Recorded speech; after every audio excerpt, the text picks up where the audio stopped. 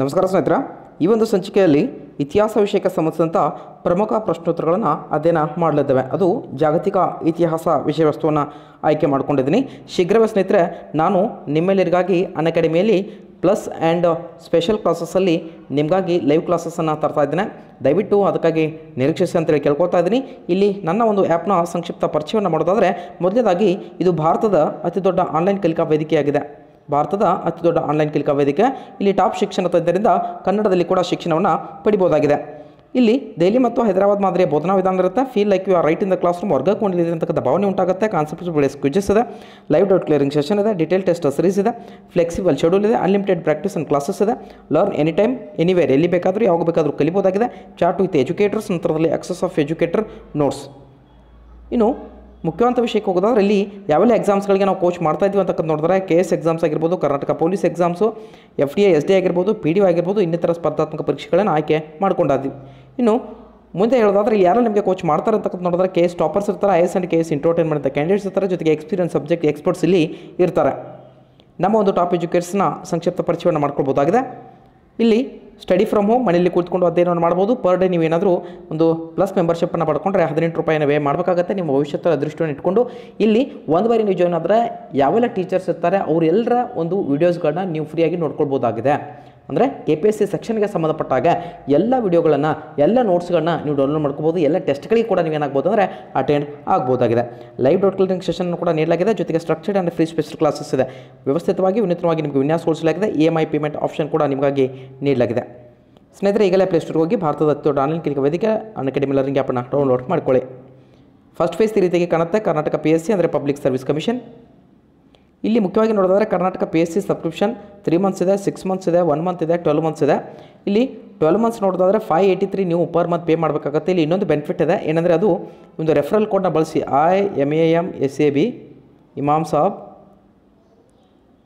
nineteen hundred and ninety ಅಂದರೆ ಸಾವಿರದ ಒಂಬೈನೂರ ತೊಂಬತ್ತು ಈ ರೆಫರಲ್ ಕೋಡ್ ಬಳಸಿದ್ರೆ ನಿಮಗೆ ಟೆನ್ ಪರ್ಸೆಂಟ್ ಡಿಸ್ಕೌಂಟ್ ಸಿಗುತ್ತೆ. ಶೀಘ್ರವೇ ನಾನು ಕೂಡ ನಿಮಗಾಗಿ ಅನ್ ಅಕಾಡೆಮಿಯಲ್ಲಿ ಲೈವ್ ಬರ್ತಾ ಇದ್ದೇನೆ. ಅದು ಫ್ರೀಯಾಗಿ ಆಗಿರ್ಬೋದು ಅಥವಾ ಪ್ಲಸ್ ಮೆಂಬರ್ಶಿಪ್ಪಲ್ಲಿ ಆಗಿರ್ಬೋದು. ಶೀಘ್ರವೇ ನಿರೀಕ್ಷಿಸಿ. ನಿಮ್ಮ ಕೆ ಪಿ ಎಸ್ ಸಿ ಪರೀಕ್ಷೆನ ಡೆಫಿನೆಟಾಗಿ ಒಂದು ವಿನೂತನವಾಗಿ, ಹೊಸ ಒಂದು ಪ್ರಯೋಗಾತ್ಮಕವಾಗಿ ನಾವು ತರಲಿಕ್ಕೆ ಪ್ರಯತ್ನವನ್ನು ಪಡ್ತಾ ಇದ್ವಿ. ಮೊದಲೇ ಬಾರಿಗೆ ನಮ್ಮ ಚಾನಲ್ ವೀಕ್ಷಿಸ್ತಾರೆ ದಯವಿಟ್ಟು ಚಾನಲ್ ಸಬ್ಸ್ಕ್ರೈಬ್ ಮಾಡಿ ಸ್ನೇಹಿತರು ಶೇರ್ ಮಾಡಿ. ಜೊತೆಗೆ ನಮ್ಮ ಪರಿಶ್ರಮಕ್ಕೆ ನಿಮ್ಮದೊಂದು ಚಿಕ್ಕ ಲೈಕ್ ಇಲ್ಲ ಅಂತ ಕೇಳ್ಕೊಳ್ತಾ, ನೇರವಾಗಿ ವಿಷಯ ಕರ್ಕೊಂಡು ಹೋಗ್ತಾ ಇದ್ದೀನಿ ಸ್ನೇಹಿತರೆ. ಎಸ್ ಸ್ನೇಹಿತರೆ, ಜಾಗತಿಕ ಇತಿಹಾಸಕ್ಕೆ ಸಂಬಂಧಿಸಿದಂಥ ಮೊದಲನೇ ಪ್ರಶ್ನೆ ನಿಮ್ಮ ಸ್ಕ್ರೀನ್ ಮೇಲೆ. ಇದು ನಿಮ್ಮ ಜಿ ಪಿ ಎಸ್ ಟಿಆರ್ಗೆ ಕೇಳ್ಬೋದು ಅಥವಾ ಟಿ ಟಿಗೆ ಕೇಳ್ಬೋದು ಅಥವಾ ಕೆ ಪಿ ಎಸ್ ಸಿಯಲ್ಲಿ ಅಥವಾ ಪಿ ಎಸ್ ಐ ಪರೀಕ್ಷೆಯಲ್ಲಿ ಕೂಡ ಕೇಳ್ಬೋದು. ಯಾವುದಾದ್ರು ಒಂದು ಸ್ಟೇಟ್ಮೆಂಟನ್ನು ಕೊಡ್ತಾ ಹೋಗ್ತಾರೆ ಈ ರೀತಿಯಾಗಿ. ಹಿಂದಿನ ಮತ್ತು ಇಂದಿನ, ಹಿಂದಿನ ಮತ್ತು ಇಂದಿನ ಅಂದರೆ ಏನು? ಫಾಸ್ಟ್ ಆಗಿದೆ ಮತ್ತು ಇಂದಿನ ಅಂದರೆ ವರ್ತಮಾನ ಪ್ರೆಸೆಂಟ್ಗೆ ಸಂಬಂಧಪಟ್ಟಾಗ ಕಾಲಗಳ ನಡುವಿನ ನಿರಂತರವಾಗಿ ನಡೆಯುತ್ತಿರುವ ಸಂಭಾಷಣೆಯೇ ಇತಿಹಾಸ ಅಂತೇಳಿ ವ್ಯಾಖ್ಯಾನ ಯಾರಿಗೆ ಸಂಬಂಧಿಸಿದೆ ಅಂತ ಹೇಳಿದ್ದಾರೆ. ಹಿಂದಿನ ಮತ್ತು ಇಂದಿನ ಕಾಲಗಳ ನಡುವಿನ ನಿರಂತರವಾಗಿ ನಡೆಯುತ್ತಿರುವ ಸಂಭಾಷಣೆಯೇ ಇತಿಹಾಸ ಅಂತೇಳಿ ವ್ಯಾಖ್ಯಾನಿಸಿದವರು ನಿಮ್ಮ ಆಯ್ಕೆಗಳು Freeman, Thomas Carlyle, E H Carr, ನಂತರದಲ್ಲಿ ಜವಾಹರ್ಲಾಲ್ ನೆಹರು. ಎಸ್ ಸ್ನೇಹಿತರೆ, ಉತ್ತರವನ್ನು ಕೊಡ್ತಾ ಇದ್ದಾರೆ ಅಂತೇಳಿ ಭಾವಿಸ್ತೀನಿ. ಸರಿ, ಅಂತ ಉತ್ತರ ಯಾವುದು? Yes.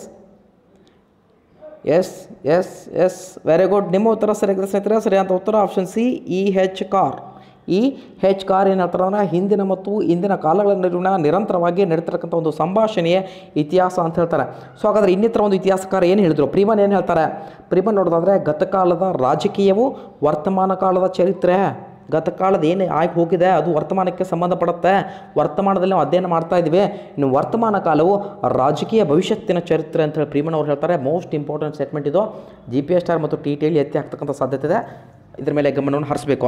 ನಂತರದಲ್ಲಿ ಥಾಮಸ್ ಕಾರ್ಲೈಲ್ ಅವ್ರು ಏನು ಹೇಳಿದ್ರು? ಥಾಮಸ್ ಕಾರ್ಲೈಲ್ ಹೇಳ್ತಾರೆ, ಇತಿಹಾಸವು ಶ್ರೇಷ್ಠ ವ್ಯಕ್ತಿಗಳ ಆತ್ಮಕಥೆ ಅಂತ ಹೇಳ್ತಾರೆ. ಇತಿಹಾಸವು ಶ್ರೇಷ್ಠ ವ್ಯಕ್ತಿಗಳ ಆತ್ಮಕಥೆ. ಕೃತಿ ಯಾವುದು? ಹೀರೋಸ್ ಆ್ಯಂಡ್ ಹೀರೋ ವರ್ಷಿಪ್ ಯಾವುದು? ಹೀರೋಸ್ ಆ್ಯಂಡ್ ಹೀರೋ ವರ್ಷಿಪ್ ಇನ್ನು ನಂತರದಲ್ಲಿ ಪಂಡಿತ್ ಜವಾಹರ್ಲಾಲ್ ನೆಹರೂರು ಭಾರತದ ಪ್ರಪ್ರಥಮ ಪ್ರಧಾನಮಂತ್ರಿಗಳು ಇವ್ರು ಹೇಳ್ತಾರೆ, ಅನಾಗರಿಕತೆಯಿಂದ ನಾಗರಿಕತೆಯತ್ತ ಅಂದರೆ ಪ್ರಾಚೀನ ಕಾಲದಲ್ಲಿ ಮನುಷ್ಯರಿಗೆ ನಾಗರಿಕತೆ ಇರಲಿಲ್ಲ. ಅನಾಗರಿಕತೆಯಿಂದ ನಾಗರಿಕತೆಯತ್ತ ಸಾಗಿ ಬಂದ ಮನುಕುಲದ ಕಥೆ, ಇತಿಹಾಸ ಅಂತೇಳಿ ಕೃತಿ ಜಗತ್ ಕಥಾವಲರಿಯಲ್ಲಿ ಇವ್ರು ಹೇಳ್ತಾರೆ ಅಂತಕ್ಕಂಥದ್ದು. ಈ ಕಾನ್ಸೆಪ್ಟ್ ನಿಮಗೆ ಅರ್ಥ ಆಗಿದೆ ಅನ್ಕೋತೀನಿ. ಜೊತೆಗೆ ಇತಿಹಾಸದ ಪಿತಾಮಹ ಯಾರು ಅಂತ ಕೇಳ್ಬೋದು. ಇತಿಹಾಸದ ಪಿತಾಮಹ ಹೆರೋಡೋಟಸ್, ಈತ ಪರ್ಷಿಯನ್ ವಾರ್ಸ್. ಸಪ್ತವಾರ್ಷಿಕ ಕದಗ ಕದನ ಅಂತ ಬರುತ್ತೆ. ಅಲ್ಲಿ ಹೇಳ್ತಾರೆ ಒಂದು ಸ್ಟೇಟ್ಮೆಂಟ್ ಏನಂತೇಳಿ, ಇತಿಹಾಸವು ಒಂದು ಮಹತ್ವಪೂರ್ಣವಾದಂಥ ಘಟನೆಗಳ ದಾಖಲೆ, ಈಗಾಗಲೇ ಒಂದು ಜಿ ಪಿ ಎಸ್ನಲ್ಲಿ ಕೇಳಿದ್ದಾರೆ. ಇತಿಹಾಸವು ಒಂದು ಮಹತ್ವಪೂರ್ಣವಾದಂಥ ಘಟನೆಗಳ ದಾಖಲೆ ಅಥವಾ ಮುಂದಿನ ಪೀಳಿಗೆಯು ನೆನಪಿಡಬೇಕಾದ ಮಹಾನ್ ವೀರರ ಕಥನ, ಇದನ್ನು ಅಪ್ಲಿಕೇಬಲ್ ಆಗಿ ಕ್ವಶನ್ ಕೇಳ್ತಾನೆ. ಯಾವ ರೀತಿ ಕೇಳ್ತಾನೆ? ಈ ಒಂದು ಮುಂದಿನ ಪೀಳಿಗೆಯು ನೆನಪಿಡಬೇಕಾದ ಮಹಾನ್ ವೀರರ ಕಥನ, ಈ ಒಂದು ಯಾವ ವಿಧಾನದಿಂದ ನಾವೇನು ಮಾಡ್ಬೋದು ಅಂದರೆ ಇಲ್ಲಿ ಇತಿಹಾಸವನ್ನು ಬೋಧನೆ ಮಾಡ್ಬೋದು ಅಂತಕ್ಕಂಥದ್ದು ಕೇಳ್ತಾನೆ.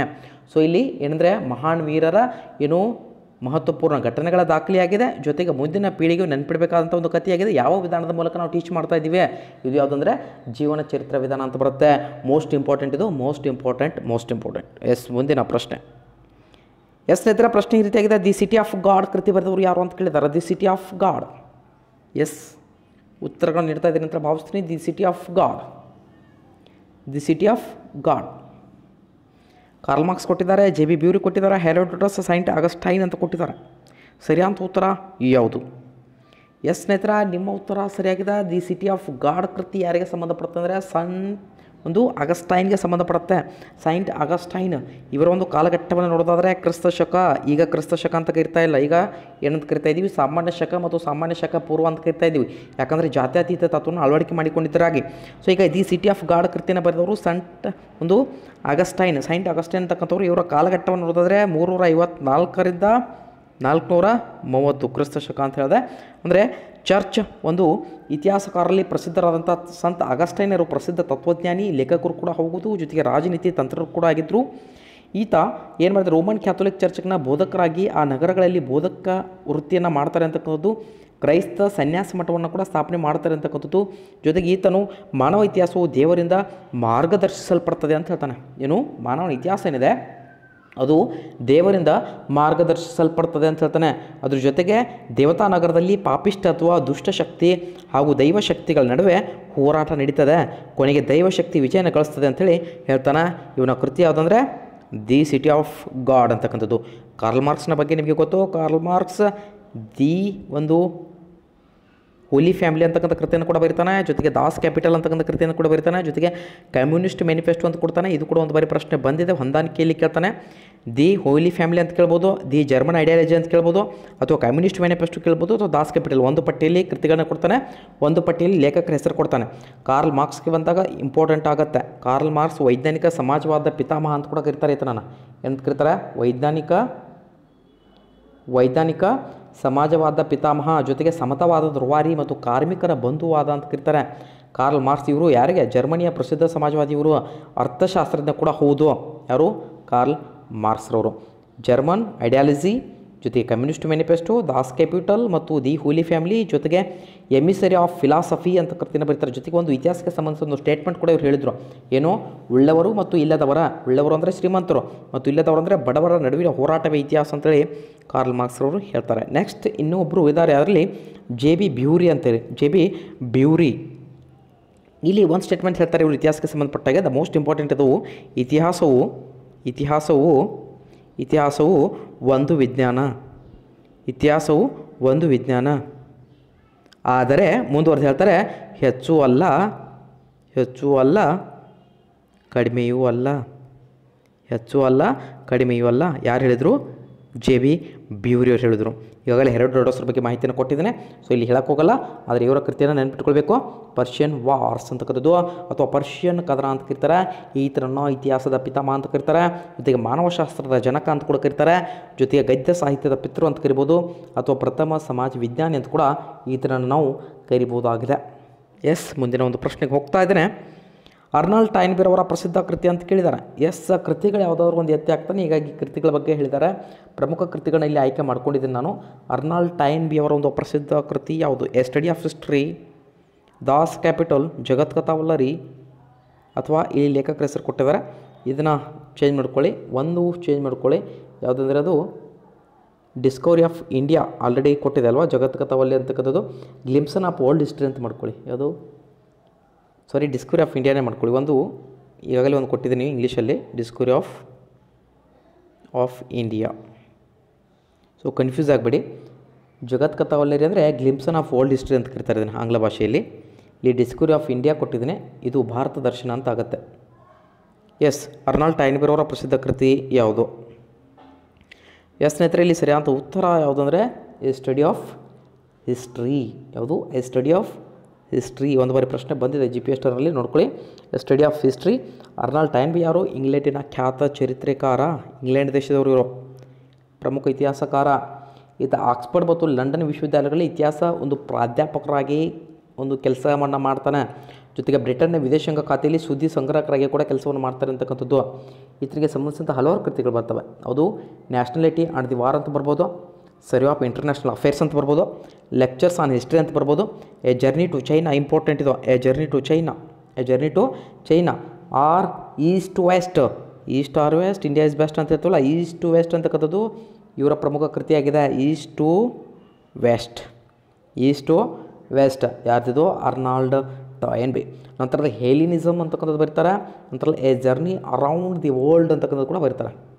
ಜರ್ನಿ ಟು ಚೈನಾ ಬರೆದ್ರು, ಜೊತೆಗೆ ಜರ್ನಿ ಅರೌಂಡ್ ದಿ ವರ್ಲ್ಡ್ ಅಂತಕ್ಕಂಥದ್ದು ಬರೀತಾರೆ ಜೊತೆಗೆ ಸ್ಟಡಿ ಆಫ್ ಹಿಸ್ಟ್ರಿ ಅವನಿಗೆ ಕೀರ್ತಿ ತಂದಂಥ ಮೇರು ಕೃತಿಯಾಗಿದೆ.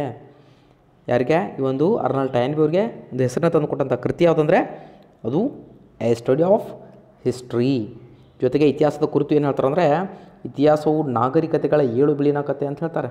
ನಾಗರಿಕತೆಗಳ ನಾಗರಿಕತೆಗಳ ಏನೋ ಏಳು ಬಿಳಿನ ಕತೆ.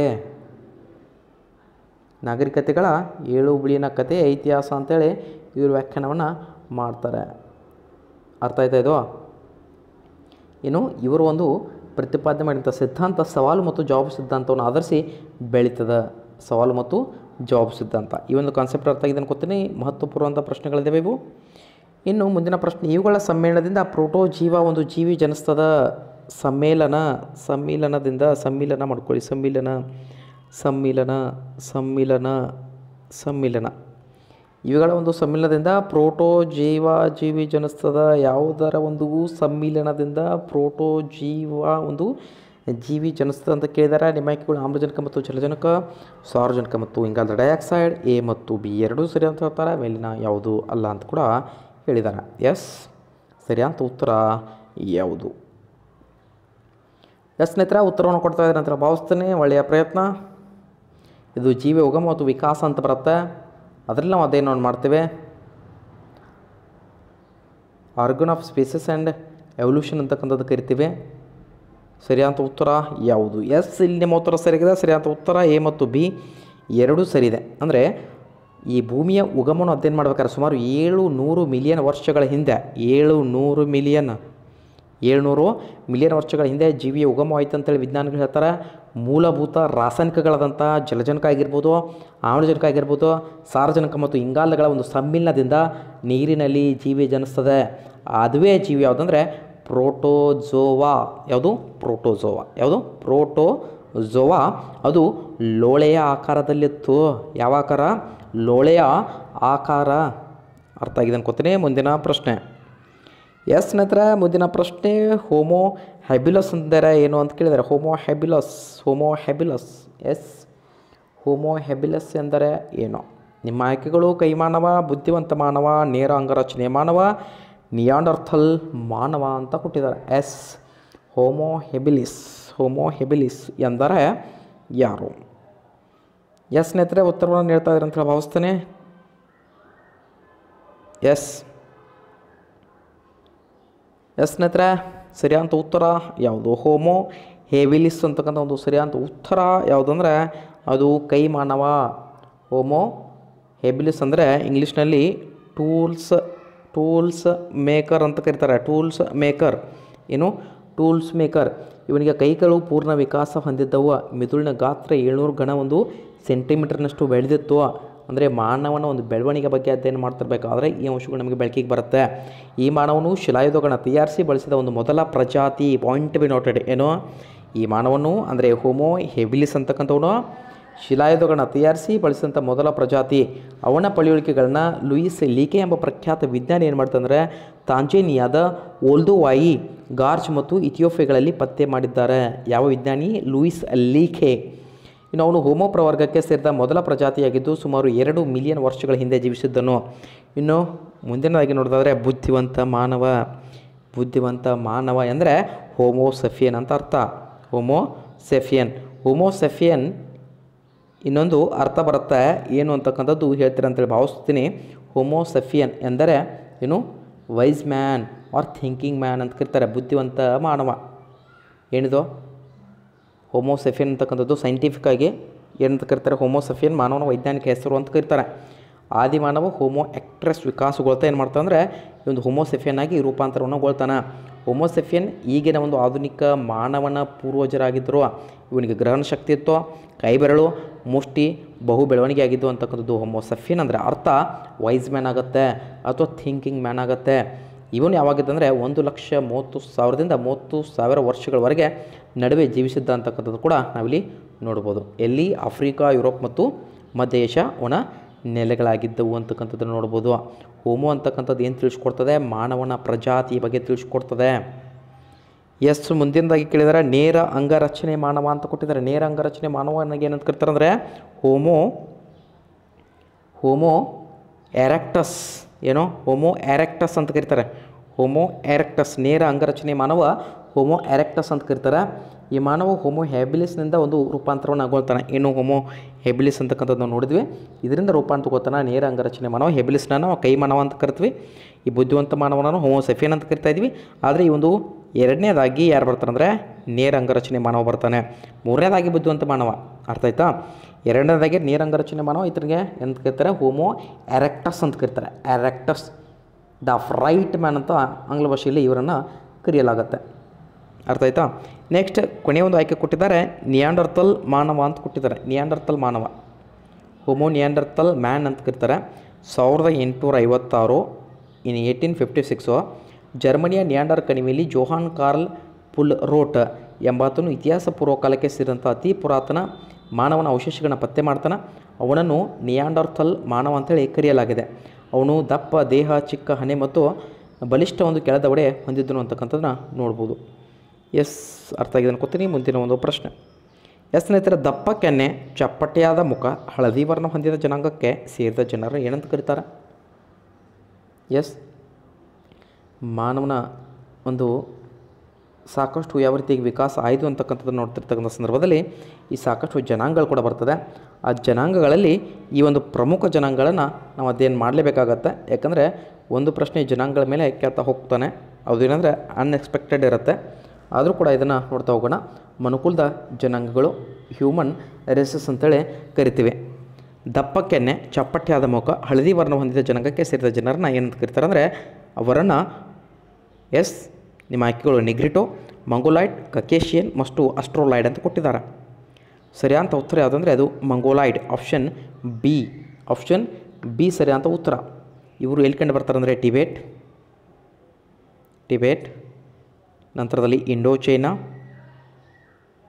ಇಂಡೋ ಚೈನಾ ಭಾಗದಲ್ಲಿ, ನಂತರದಲ್ಲಿ ಜಪಾನ್, ಫಾರ್ಮೋಸ್ಗಳಲ್ಲಿ ಕಂಡುಬರ್ತಾರೆ ಹಳದಿ ವರ್ಣ ಇರುತ್ತೆ ಚಪ್ಪಟೆಯಾದ ಮುಖ ಇರುತ್ತೆ, ದಪ್ಪ ಕೆನ್ನೆಯುಳ್ಳವರಾಗಿರ್ತಾರೆ ಅಮೇರಿಕಾದ ಇಂಡಿಯನರು ಕೂಡ ಒಂದು ಮಂಗೋಲಾಯ್ಡ್ ಒಂದು ಶಾಖೆಗೆ ಸೇರ್ತಾರೆ. ಉತ್ತರ ಅಮೇರಿಕಾದ ಎಸ್ಕಿಮೋಗಳು ಇದೇ ಗುಂಪಿಗೆ ಸೇರ್ತಾರೆ. ಇದು ಕೂಡ ಪ್ರಶ್ನೆ ಕೇಳ್ಬೋದು. ಉತ್ತರ ಅಮೇರಿಕಾದ ಎಸ್ಕಿಮೆಗಳು, ಎಸ್ಕಿಮೋಗಳು ಯಾವುದಕ್ಕೆ ಸೇರ್ತಾರೆ ಅಂದರೆ ಅದು ಮಂಗೋಲಾಯ್ಡ್ಗೆ ಸೇರ್ತಾರೆ. ಇನ್ನು ನೆಗ್ರಿಟೋಗಳು ಅಂತ ಬರ್ತದೆ. ನೆಗ್ರಿಟೋಗಳು ಇದು ಮೊದಲ ಜನಾಂಗ, ಕಪ್ಪು ವರ್ಣದವರು ಇರ್ತಾರೆ. ನೆಗ್ರಿಟೋಗಳು ಅಂದರೆ ಕಪ್ಪು ವರ್ಣದವರು. ಕಪ್ಪು ವರ್ಣದವರು.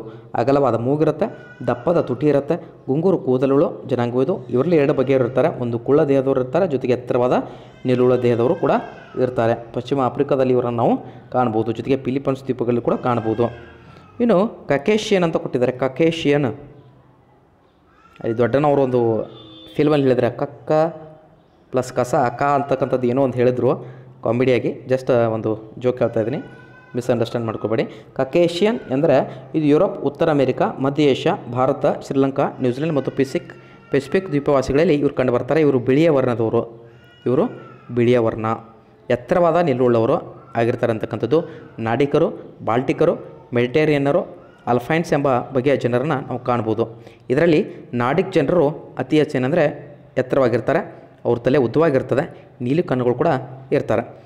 ಇನ್ನು ಕೊನೆಯದಾಗಿ ಅಸ್ಟ್ರೋಲೈಟ್ಸ್ ಅಂತ ಬರ್ತಾರೆ. ಅಸ್ಟ್ರೋಲೈಟ್ಸ್ ಅಂದರೆ ಕಪ್ಪು, ಚರ್ಮ, ಕುಳ್ಳ ಆಕೃತಿ ಉಳ್ಳವರಾಗಿರ್ತಾರೆ. ಇವರು ಹೆಚ್ಚಾಗಿ ಆಸ್ಟ್ರೇಲಿಯಾದಲ್ಲಿ ವಾಸಿಸ್ತಾರೆ. ಈ ಒಂದು ಕಾನ್ಸೆಪ್ಟ್ ಕೂಡ ಅರ್ಥ ಆಗಿದೆ ಅನ್ಕೋತೀನಿ. ಮುಂದಿನ ಪ್ರಶ್ನೆಗೆ ನಾನು ಹೋಗ್ತಾ ಇದ್ದೇನೆ. ಎಸ್ ಸ್ನೇಹಿತರೆ, ಮುಂದಿನ ಪ್ರಶ್ನೆ ನಿಮ್ಮ ಸ್ಕ್ರೀನ್ ಮೇಲೆ ರೀತಿಯಾಗಿದೆ ಜಗತ್ತಿನ ಮೊದಲ ಮತ್ತು ಅತ್ಯಂತ ಪುರಾತನ ನಾಗರಿಕತೆ ಅಂತ ಹೇಳಿದ್ದಾರೆ. ನಾಗರಿಕತೆಗಳ ಮೇಲೆ ಒಂದು ಪ್ರಶ್ನೆ ಕೇಳ್ತಾ ಹೋಗ್ತಾನೆ. ನಾಗರಿಕತೆಗಳ ಮೇಲೆ ಅದು ಅವರ ಲಿಪಿಗಳ ಬಗ್ಗೆ ಕೇಳ್ಬೋದು ಅಥವಾ ಅವರ ಒಂದು ನಾಗರಿಕತೆ ಉಗಮದ ಬಗ್ಗೆ ಕೇಳ್ಬೋದು. ಅಥವಾ ಮೊದಲ ನಾಗರಿಕತೆ ಬಗ್ಗೆ ಕೇಳ್ಬೋದು. ಸಿವಿಲೈಸೇಷನ್ ಅಂತ ಕರಿತೀವಿ ನಾವು ಆಂಗ್ಲ ಭಾಷೆಯಲ್ಲಿ. ಏನ್ಸೆಂಟ್ ಸಿವಿಲೈಸೇಷನ್ಸ್ ಅಂತೇಳಿ, ಅಂದರೆ ಪ್ರಾಚೀನ ನಾಗರಿಕತೆಗಳಂತೇಳಿ ಕರಿತಾ ಹೋಗ್ತೀವಿ.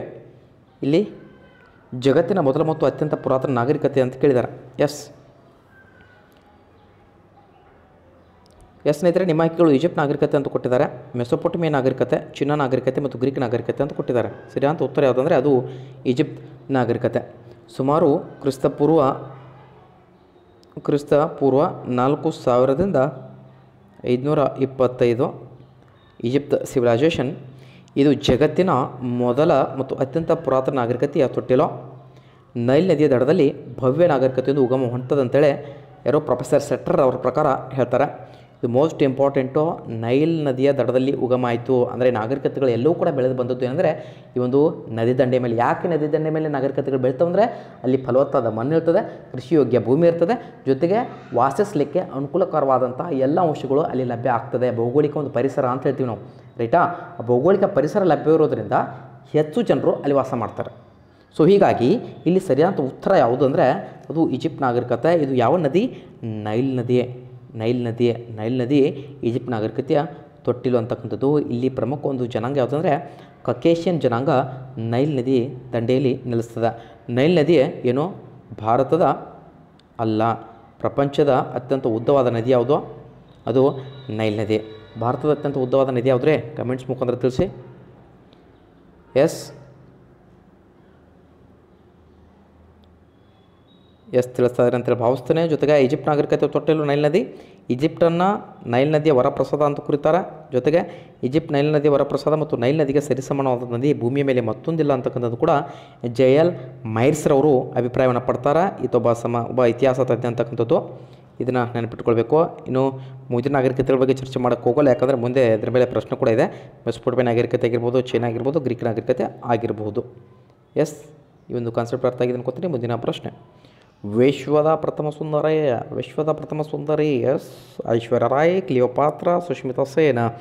ಥಟ್ಟನೆ ಕಣ್ಣು ಹೋಗ್ತಾ ಇದೆ ಅಂದರೆ ಐಶ್ವರ್ಯ ರಾಯ್ ಇರ್ಬೋದು ಅಂತಕ್ಕಂಥದ್ದು. ಅಥವಾ ಸುಷ್ಮಿತಾ ಸೇನು, ಇವರು ಭಾರತದ ವಿಶ್ವ ಸುಂದರಿಯನ್ನು ಪಡ್ಕೊಂಡಿದ್ದರು ಆದರೆ ಇಲ್ಲಿ ವಿಶ್ವದ ಪ್ರಥಮ ಸುಂದರಿ ಈಜಿಪ್ಟ್ನ ಒಂದು ರಾಜ್ಯವನ್ನು ಮನೆತನಕ್ಕೆ ಸಂಬಂಧಪಟ್ಟ ಹಾಗೆ ನಾನು ಕೇಳ್ತಕ್ಕಂಥ ಒಂದು ಪ್ರಶ್ನೆ ಸರಿ ಅಂತ ಉತ್ತರ, ಕ್ಲಿಯೋಪಾತ್ರ. ಯಾರು? ಕ್ಲಿಯೋಪಾತ್ರ. ಕ್ಲಿಯೋ ಪಾತ್ರ ಮೋಸ್ಟ್ ಇಂಪಾರ್ಟೆಂಟ್ ಇದು. ಕ್ಲಿಯೋ ಪಾತ್ರನ ಬಗ್ಗೆ ಕೇಳ್ತಾ ಹೋಗ್ತಾನೆ. ಇಲ್ಲಿ ಕ್ಲಿಯೋ ಪಾತ್ರ ಯಾವ ಅಂಶಕ್ಕೆ ಸೇರಿದವಳು ಅಂದರೆ ಅದು ಈ ಒಂದು ಹೆಡ್ಸೆಸೆಟ್ ಮತ್ತು ಒಂದು ಮೂರನೇ ಥೆಸೆಟ್ ಆಮೇಲೆ ಅಕ್ನಾಟನ್ ಅಂತೇಳಿ ಇಲ್ಲಿ ಒಂದು ಬೇರೆ ಬೇರೆ ಹೆಸರುಗಳು ಬರ್ತವೆ.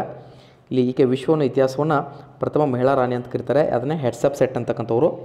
ಇಲ್ಲಿ ಎರಡನೇ ರಾಮ್ಸಸ್ ಏನು ಬರ್ತಾನೆ? ಎರಡನೇ ರಾಮ್ಸಸ್ನ ಆದಮೇಲೆ ಏನಂದರೆ ಈ ಒಂದು ಕ್ಲಿಯೋ ಪಾತ್ರ ಬರ್ತಾಳೆ. ಅಂದರೆ ಫೇರೋಗಳ ಒಂದು ಅಸಮರ್ಥತೆ ಮತ್ತು ದುಂದುವಚ್ಚ ಪ್ರಕೃತಿ ವೈಫಲ್ಯ ಮತ್ತು ವಿದೇಶಿಯರ ದಾಳಿಗಳು ಈಜಿಪ್ಟ್ ನಾಗರಿಕತೆ ಅವನತಿಗೆ ಪ್ರಮುಖ ಕಾರಣ ಆಗ್ತದೆ. ಈಜಿಪ್ಟ್ ಒಂದು ಮೊದಲು, ಅಂದರೆ ಈಜಿಪ್ಟ್ನ ಒಂದು ಪ್ರಥಮ ಸುಂದರಿಯಾಗಿ ಯಾರಿದ್ರು ಕ್ಲಿಯೋಪಾತ್ರ ಈಜಿಪ್ಟನ್ನು ಆಳ್ವಿಕೆ ಮಾಡ್ತಾಳೆ ಅಂತಕ್ಕಂಥದ್ದು ಟಾಲೆಮಿ ಇಲ್ಲಿ ಕೂಡ ಬರ್ತಾನೆ. ಟಾಲೆಮಿಯ ಪ್ರಸಿದ್ಧ ಒಂದು ಕೃತಿ ನೋಡ್ಬೋದು. ಯಾವುದ್ರಿ? ಟಾಲೆಮಿಯ ಪ್ರಸಿದ್ಧ ಕೃತಿ ಯಾವುದು? ಆ ಪ್ರಶ್ನೆ, ಹೋಮ್ವರ್ಕ್. ಟಾಲೆಮಿಯ ಪ್ರಸಿದ್ಧ ಕೃತಿ ಯಾವುದು? ಕಮೆಂಟ್ಸ್ ಮುಖಾಂತರ ತಿಳಿಸಿ. ಎಕ್ಸಾಮ್ನಲ್ಲಿ ಕೂಡ ಬರ್ಬೋದು ಹೊಂದಾಣಿಕೆಯಲ್ಲಿ.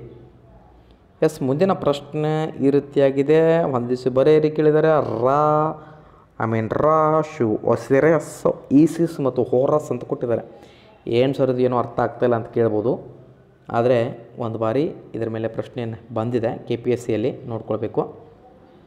ಯಾಕಂದರೆ ಈ ಒಂದು ಈಜಿಪ್ಟಿಯನ್ನರು ಬಹು ದೇವತಾ ಆರಾಧಕರಾಗಿದ್ದರು ಹೀಗಾಗಿ ಇಲ್ಲಿ ಇರ್ತಕ್ಕಂಥ ದೇವರುಗಳ ಹೆಸರುಗಳನ್ನ ಬೇರೆ ಬೇರೆ ಹೆಸರಿಂದ ಕರೆದಿದ್ದಾರೆ ಅವರು.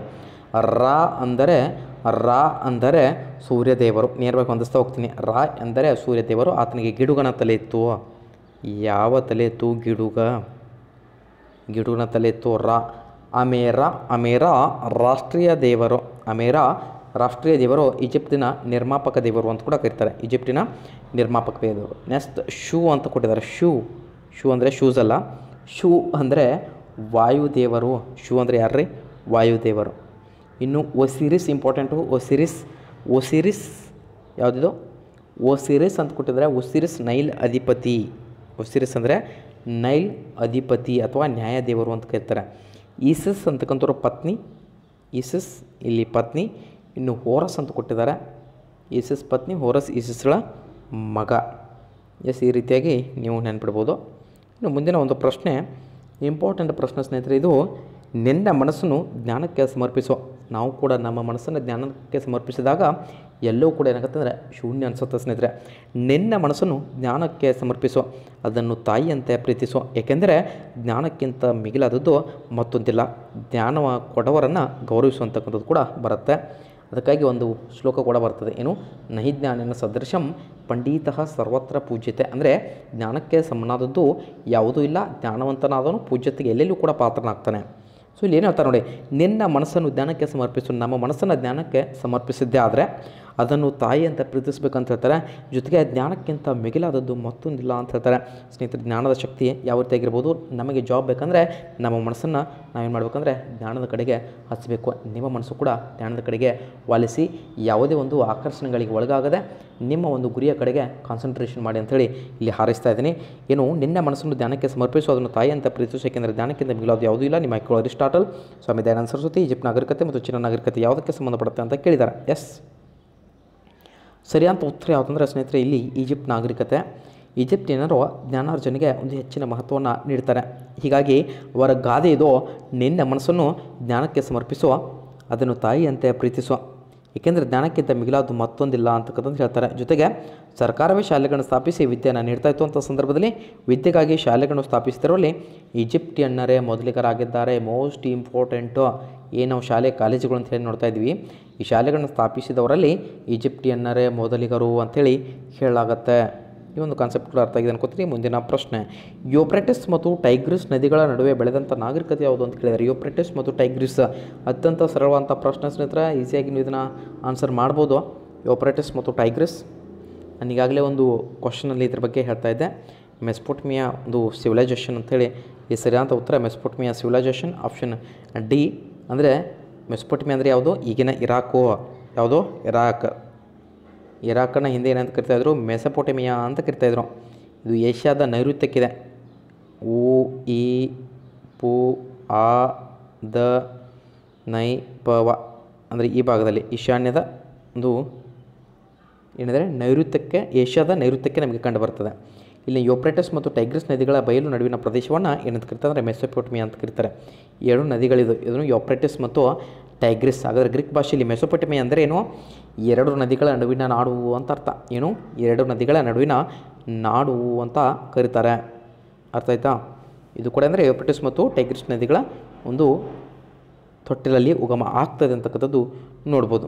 ಮುಂದಿನ ಪ್ರಶ್ನೆ, ಜೊತೆಗೆ ಇಲ್ಲಿ ಇನ್ನೊಂದು ಪ್ರಶ್ನೆ ಕೇಳ್ಬೋದು. ರೋಮ್ ನಾಗರಿಕತೆ ಯಾವ ನದಿಯ ದಡದಲ್ಲಿ ಬಂದಿದ್ದು ಉಗಮ ಆಯಿತು ಅಂತಕ್ಕಂಥದ್ದು ಕೇಳ್ತಾರೆ. ಸ್ನೇಹಿತರೆ ಸರಿ ಅಂತ ಉತ್ತರ, ಟೈಗ್ರಿಸ್. ಟೈಗ್ರಿಸ್ ಕೇಳಿದ್ದಾನೆ. ಈಗಾಗಲೇ ಇದನ್ನು ನೋಟ್ ಮಾಡ್ತಾ ಹೋಗಿ. ಮುಂದಿನ ಪ್ರಶ್ನೆ, ಇದನ್ನು ಕೇಳ್ಬೋದು. ಚೀನಾ ನಾಗರಿಕತೆ, ಅದು ಹ್ಯೂ ಹಾಂಗ್ ಅಂತ ಬರುತ್ತೆ. ಹೂ ವಾಂಗ್ ಓ ಅಂತಕ್ಕಂಥದ್ದು. ಇದನ್ನು ಬೇರೆ ಬೇರೆ ರೀತಿಯಲ್ಲಿ ಬೇರೆ ಬೇರೆ ಟೆಕ್ಸ್ಟ್ ಬುಕ್ಕಲ್ಲಿ ಬೇರೆ ಬೇರೆ ರೀತಿಯಾಗಿ ಕೊಟ್ಟಿದ್ದಾರೆ. ನೀವು ಯಾವ ರೀತಿ ಇದನ್ನು ಅರ್ಥ ಮಾಡ್ಕೋತೀರಾ, ನೀವು ಯಾವ ರೀತಿ ಟೆಕ್ಸ್ಟ್ ಬುಕ್ ಓದಿರಾ ಆ ರೀತಿ ನೀವು ಫಾಲೋ ಮಾಡಿ. ಆಯಿತಾ? ಇನ್ನು ಮುಂದಿನ ಪ್ರಶ್ನೆ ಕ್ಯೂನಿಫಾರ್ಮ್ ಎಂಬ ಬರವಣಿಗೆಯನ್ನು ಬಳಸುತ್ತಿದ್ದವರು ಅಂತ ಕೇಳಿದ್ದಾರೆ ಕ್ಯೂನಿಫಾರ್ಮ್ ಎಸ್. ಹೈರೋಗ್ಲಿಪಿಕ್ಸ್ ಅಂತ ಕೇಳಿದ್ದೀವಿ ಯಾವುದ್ರಿ ಇದು? ಕ್ಯೂನಿಫಾರ್ಮ್ ಅಂತ ಕೇಳ್ಬೋದು. ಕ್ಯೂನಿಫಾರ್ಮು ಕ್ಯೂನಿಫಾರ್ಮ್ ಕ್ಯೂನಿಫಾರ್ಮನ್ನು ಬರವಣಿಗೆಯನ್ನು ಬಳಸುತ್ತಿದ್ದವರು ಯಾರು ಅಂತ ಕೇಳಿದ್ದಾರೆ ಎಸ್. ಸರಿ ಅಂತ ಉತ್ತರ ಯಾವುದು? ಎಸ್, ಸ್ನೇಹಿತರೆ, ನಿಮ್ಮ ಆಯ್ಕೆಗಳು ನೋಡೋದಾದ್ರೆ ಈಜಿಪ್ಟಿಯನರು ಚೀನಾ ದೇಶವರು ಮೆಸ್ಪೊಟಮಿಯಾದವರು ಅಂತ ಹೇಳ್ಬೋದು. ಈಗ ನಾನು ಮೆಸ್ಪೊಟಮಿ ಹೇಳಿದ್ದೀನಿ ಮೆಸ್ಪೊಟಮಿ ಅಂತ ಅನ್ಬೋದು ನೀವು. ಆದರೆ ಸರಿ, ಅಂತ ಉತ್ತರ ಯಾವುದಂದರೆ ಸುಮೇರಿಯನ್ನರು. ಯಾರು? ಸುಮೇರಿಯನ್ನರು. ಕ್ರಿಸ್ತಪೂರ್ವ ಸುಮಾರು ಮೂರು ಸಾವಿರದ ಐದುನೂರರಲ್ಲಿ, ಮೂರು ಸಾವಿರದ ಐದುನೂರಲ್ಲಿ ಬರವಣಿಗೆ ಹುಟ್ಟುಕೊಳ್ತದೆ. ಜಗತ್ತಿನಲ್ಲಿ ಈಜಿಪ್ತಿನರಿಗಿಂತ ಮೊದಲೇ ಬರವಣಿಗೆ ಕಲೆಯನ್ನು ರೂಢಿಸಿಕೊಂಡಂಥ ಜಗತ್ತಿನ ಮೊದಲಿಗರು ಯಾರಂದರೆ ಅವರೇ ಸುಮೇರಿಯನ್ನರು ಪಾಯಿಂಟ್ ಬಿ ನೋಟೆಡ್ ಏನು ಈಜಿಪ್ಟಿಯನ್ನರಿಗಿಂತ ಮೊದಲೇ ಬರವಣಿಗೆಯ ಕಲೆಯನ್ನು ರೂಢಿಸಿಕೊಂಡ ಜಗತ್ತಿನ ಮೊದಲಿಗರು ಸುಮೇರಿಯನ್ನರು ಆರಂಭದಲ್ಲಿ ಚಿತ್ರಲಿಪಿಯನ್ನು ಬಳಸ್ತಾ ಇದ್ರು. ಫಿಕ್ಟೋಗ್ರಾಫ್ ಅಂತ ಕರೀತಾರೆ ಚಿತ್ರಲಿಪಿಯನ್ನು. ಫಿಕ್ಟೋಗ್ರಾಫ್ ಎಕ್ಸಾಮ್ನಲ್ಲಿ ಕೇಳ್ಬೋದು. ಚಿತ್ರಲಿಪಿ ಅಂತ ನಾವು ನೆನಪಿಟ್ಕೊಂಡಿರ್ತೇವೆ ಫಿಕ್ಟೋಗ್ರಾಫ್ ಅಂದರೆ ಗೋವಿಂದ ಆಗುತ್ತೆ. ಫಿಕ್ಟೋಗ್ರಾಫ್ ಅಂದರೆ ಚಿಹ್ನೆಗಳ ಮೂಲಕ ಲಿಪಿಯನ್ನು ಗುರುತಿಸೋದು ಚಿತ್ರಲಿಪಿ ಅಂದರೆ ಚಿಹ್ನೆಗಳ ಮೂಲಕ ಸಂಕೇತಗಳಿರ್ತವೆ. ಅದ್ರ ಮುಖಾಂತರ ಗುರುತಿಸೋದು ಸುಮೇರಿಯನ್ನರು ಕ್ಯೂನಿಫಾರ್ಮ್ ಎಂಬ ಬರವಣಿಗೆನ ಬಳಸ್ತಾ ಇದ್ರು. ಕ್ಯೂನಿಫಾರ್ಮ್ ಅಂದರೆ ಹಸಿ ಒಂದು ಜೇಡಿ ಮಣ್ಣಿನ ಹಲಗೆಗಳ ಮೇಲೆ ಅದನ್ನು ಬರಿತಾ ಇದ್ರು. ಅವನು ಬೆಂಕಿಯಲ್ಲಿ ಸುಟ್ಟು ಕ್ರಮಬದ್ಧವಾಗಿ ಜೋಡಿಸಿಡ್ತಾ ಇದ್ರು. ಕಾಲಕ್ರಮೇಣ ಮೂರರಿಂದ ನಾಲ್ಕುನೂರು ಒಂದು ಸಂಕೇತ ಅಕ್ಷರಗಳು ಹುಟ್ಟಿಕೊಂಡವು. ಅವರು ಸಾಹಿತ್ಯವು ಎಂದರೆ ಧಾರ್ಮಿಕವಾಗಿದ್ದು, ಅದು ದೇವರು, ಮಹಿಮೆ ಮತ್ತು ಜನರ ಧಾರ್ಮಿಕ ಭಾವನೆಗಳನ್ನ ಪ್ರತಿಬಿಂಬಿಸ್ತಾ ಇತ್ತು ಅಂತಕ್ಕಂಥದ್ದನ್ನು ನೋಡ್ಬೋದು. ಅವರೊಂದು ಮಹಾಕಾವ್ಯ ಯಾವುದಂದ್ರೆ, ಈ ಒಂದು ಸುಮೇರಿಯನ್ನರ ಮಹಾಕಾವ್ಯ ಗಿಲ್ಗೆ ಮೇಷ್ ಯಾವುದು? ಗಿಲ್ಗೆ ಮೆಶು ಗಿಲ್ಗೆ ಮೆಶ್ ಅರ್ಥ ಆಯ್ತಾ? ಮುಂದಿನ ಪ್ರಶ್ನೆ, ತೂಗಾಡುವ ಉದ್ಯಾನವನವನ್ನು ನಿರ್ಮಿಸಿದವರು ತೂಗಾಡುವ ಉದ್ಯಾನವನ, ಎಸ್ ತೂಗಾಡುವ ಉದ್ಯಾನವನ, ಸಾಕಷ್ಟು ಬಾರಿ ಕೇಳಿದಿರ ತೂಗಾಡುವ ಉದ್ಯಾನವನ ಸರಿಯಾದಂಥ ಉತ್ತರ, ನಿಮ್ಮ ಆಯ್ಕೆಗಳು ಹಸಿರು ಬನಿಪಾಲ್ ಟಿಗ್ಗತ್ ಫಿಲಾಸರ್ ನೇಬು ಕಡ್ನೀಜರ್ ಮತ್ತು ಸೆನಾ ಚೆರಿಪ್ ಸರಿಯಾದಂಥ ಉತ್ತರ ಯಾವುದಂದರೆ ನೇಬು ಕಡ್ನೀಜರ್ ಆಪ್ಷನ್ ಸಿ ಸರಿಯಾದಂಥ ಉತ್ತರ. ನೆಬು ಕಡ್ನೀಜರ್ ಯಾರ ಒಂದು ನೆನಪಿಗಾಗಿ ಅವನ ರಾಣಿ ಅರ್ಮೇನಿಯಾದಿಂದ ಬಂದಂಥ ಅಮಿಟಿಸಳ. ಯಾರು? ಅಮಿಟಿಸ್. ಅಮಿ ಟಿಸಳ ಒಂದು ನೆನಪಿಗಾಗಿ ತನ್ನ ಅರಮನೆಯ ನೆಲಮಾಳಿಗೆಯ ಮೇಲೆ ತೂಗಾಡುವ ಹೂದೋಟ ಹಾಗೂ ಉಪ್ಪರಿಗೆಯ ಉದ್ಯಾನ ರೂಫ್ ಗಾರ್ಡನ್ ಅಂತ ಕರೀತಾರೆ, ನಿರ್ಮಿಸ್ತಾನ. ಇದು ಏನಂದರೆ ಪ್ರಪಂಚದ ವಿವಿಧ ಸಸ್ಯಗಳ ಸಂಗ್ರಹವಾಗಿತ್ತು. ಗ್ರೀಕರು ಇದನ್ನು ಪ್ರಾಚೀನ ಜಗತ್ತಿನ ಏಳು ಅದ್ಭುತಗಳಲ್ಲಿ ಒಂದು ಅಂತ ಕೂಡ ಕರೀತಾರೆ. ಎಸ್ ಮುಂದಿನ ಒಂದು ಪ್ರಶ್ನೆ, ಚೀನಾ ದೇಶವನ್ನು ಆಳಿದ ಪ್ರಥಮ ಐತಿಹಾಸಿಕ ದೊರೆ. ಎಸ್, ಚೀನಾ ದೇಶವನ್ನು ಆಳಿದ ಪ್ರಥಮ ಐತಿಹಾಸಿಕ ದೊರೆ ಯಾರು? ಎಸ್, ಸ್ನೇಹಿತರೆ ಸರಿಯಾದಂಥ ಉತ್ತರ ನಿಮ್ಮ ಆಯ್ಕೆಯಲ್ಲಿ ಪೂಸಿ ಕೊಟ್ಟಿದ್ದಾರೆ ಶೆನ್ನುಂಗೋ ಹುಂಗಟಿ ಮೇಲೆ ಯಾರಲ್ಲ ಸರಿಯಾದಂಥ ಉತ್ತರ ಪೂಸಿ. ಯಾರು? ಪೂಸಿ. ಅಂದರೆ ದಂತಕಥೆಗಳ ಪ್ರಕಾರ ಕ್ರಿಸ್ತಪೂರ್ವ ಎರಡು ಸಾವಿರದ ಐದು ಎಂಟುನೂರ ಐವತ್ತೆರಡರಲ್ಲಿ ಚೀನಾವನ್ನು ಆಳಿದಂಥ ಪುರುಸಿ ಪ್ರಥಮ ಐತಿಹಾಸಿಕ ದೊರೆ ಶೇನ್ ನುಂಗ್ ಅಂತಕ್ಕಂಥವ್ರು ಬರ್ತಾನೆ. ಅವನ ಮಗ ಶೇನ ನುಂಗ್ ನಮ್ಮ ಮಗ ಶೇನ ನುಂಗು ಏನು ಆಪ್ಷನ್ ಟೂ ನೋಡ್ತಾ ಇದ್ದೀರಾ? ನಂತರದಲ್ಲಿ ಅವನ ಒಂದು ಉತ್ತರಾಧಿಕಾರಿಗೆ ಕೃಷಿ, ವ್ಯಾಪಾರ ಮತ್ತು ವೈದ್ಯಶಾಸ್ತ್ರಗಳಿಗೆ ಪ್ರೋತ್ಸಾಹ ಕೊಡ್ತಾನೆ. ಹೂ ಅಂಗಟಿ ಚೀನಾವನ್ನು ನಡೆದ ಮೊದಲ ಐತಿಹಾಸಿಕ ದೊರೆ ಅಂತ ಕರೀತಾರೆ. ಹೂ ಅಂಗಟಿಯನ್ನು ಈತನನ್ನು ಐತಿಹಾಸಿಕ ದೊರೆ ಅಂತ ಕರೀತಾರೆ. ಇದನ್ನು ಕೂಡ ನೋಟ್ ಮಾಡ್ಕೋಬೇಕು ಏನು ಸರ್ ನೀವು ಈ ರೀತಿ ಹೇಳಿದ್ರಿ ಅಂತೇಳಿ ಮೊದಲು ನಾನು ಏನು ಎಕ್ಸ್ಪ್ಲೇನ್ ಮಾಡ್ತಾ ಇದ್ದೀನಿ.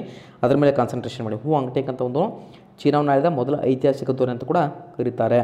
ನಂತರಲ್ಲಿ ಸಂತತಿಗಳು ಬಂದಾಗ ಅದು ಬೇರೆ. ಶಾಂಗ್ ಸಂತತಿ ಆಗಿರ್ಬೋದು, ಚೌ ಸಂತತಿ ಆಗಿರ್ಬೋದು, ಶೀನ್ ಸಂತತಿ ಆಗಿರ್ಬೋದು, ಇದು ಬೇರೆ ಹ್ಯಾನ್ ಸಂತತಿ ಆಗಿರ್ಬೋದು. ನೀವು ಓದಿರ್ತೀರ ಅದನ್ನು. ರೈಟಾ ಎಸ್, ಮುಂದಿನ ಪ್ರಶ್ನೆ ಈ ರೀತಿಯಾಗಿದೆ ಸಂಸತ್ತಿನ ಸದಸ್ಯರು ಅನುಭವಿಸುವ ಸವಲತ್ತುಗಳು ಒಳಗೊಂಡಿರುವುದು ಈ ಪ್ರಶ್ನೆಯನ್ನು ನಿಮಗೆ ಬಿಡ್ತಾ ಇದ್ದೀನಿ. ಸರಳವಂಥ ಪ್ರಶ್ನೆ ಇದೆ. ಉತ್ತರವನ್ನು ಕೊಡ್ತೀನಿ ಅಂತ ಭಾವಿಸ್ತೀನಿ. ಸಂಸತ್ತಿನ ಸದಸ್ಯರು ಅನುಭವಿಸುವ ಸವಲತ್ತುಗಳು ಒಳಗೊಂಡಿರುವುದು ನಿಮ್ಮ ಆಯ್ಕೆಗಳು, ಎಲ್ಲ ಪ್ರಕರಣಗಳಲ್ಲಿ ಬಂಧನ ಸ್ವಾತಂತ್ರ್ಯ. ಸಂಸತ್ತಿನ ಅಧಿವೇಶನ ನಡೆಯುವಾಗ ಸಾಕ್ಷಿಗೆ ಉಪಸ್ಥಿತಿಯ ಸ್ವಾತಂತ್ರ್ಯ. ಅನಿಯಮಿತ ಒಂದು ಮಾತಿನ ಸ್ವಾತಂತ್ರ್ಯ ಮೇಲಿನ ಎಲ್ಲವಂತ ಕೊ- ಕೊಟ್ಟಿದ್ದಾರೆ. ಸರಿಯಾದ ಉತ್ತರ ಯಾವುದು? ಇದು ಪೌರ್ಣಿತಿಗೆ ಸಂಬಂಧಪಟ್ಟಂಥ ಪ್ರಶ್ನೆ. ಉತ್ತರ ನೀವೇ ಕೊಡ್ತೀರಂತ ಭಾವಿಸ್ತೀನಿ. ವಿಡಿಯೋ ನಿಮಗೆ ಇಷ್ಟ ಆಗಿದ್ದರೆ ನಮ್ಮ ವಿಡಿಯೋಗಳಂತ ಏನಾದರೂ ಸಹ ಆಗ್ತಾ ಇದ್ದರೆ ದಯವಿಟ್ಟು ಸ್ನೇಹಿತರೆ, ನಿಮ್ಮ ಒಂದು ಚಿಕ್ಕ ಲೈಕ್ ಏನಾಗುತ್ತೆ ಅಂದರೆ ನಮಗೆ ಇನ್ಸ್ಪಿರೇಷನ್ ಸಿಗುತ್ತೆ. ಸಾಕಷ್ಟು ಮತ್ತು ಬದಲಾವಣೆಗಳನ್ನು ಮಾಡಿಫೈಗಳನ್ನ ಮಾಡಿ ಮತ್ತೆ ಒಳ್ಳೆಯದು ಏನು ಕೊಡಲಿಕ್ಕೆ ಸಾಧ್ಯದನ್ನು ಕೊಡಲಿಕ್ಕೆ ಪ್ರಯತ್ನ ಮಾಡ್ತೀವಿ. ಸೊ ಧನ್ಯವಾದಗಳು ಸ್ನೇಹಿತರೆ, ನಿಮ್ಮ ದಿನ ಶುಭವಾಗಿರಲಿ.